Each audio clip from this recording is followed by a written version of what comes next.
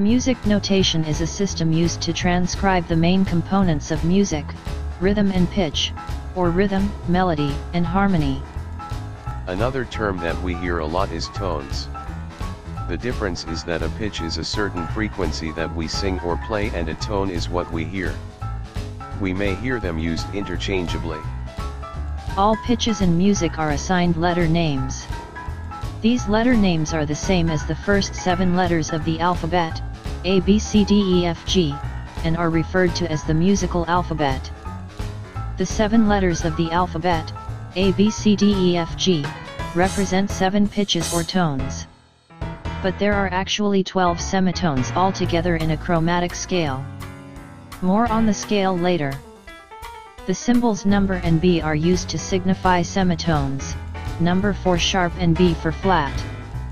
Two pitches that are equivalent of each other but have different names are called enharmonic like C sharp and D flat. Pitches are represented in the form of notes. They are written on a grid consisting of five lines and four spaces, called a staff. At the beginning of every staff there is a symbol called a clef. There are many different types of clefs. The common ones are G or treble clef, F, or bass clef and C clef, G and F being the most common. The center of the symbol identifies the note on the staff.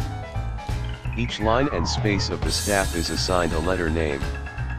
On the treble clef, the lines are in order from bottom to top, A G B D F.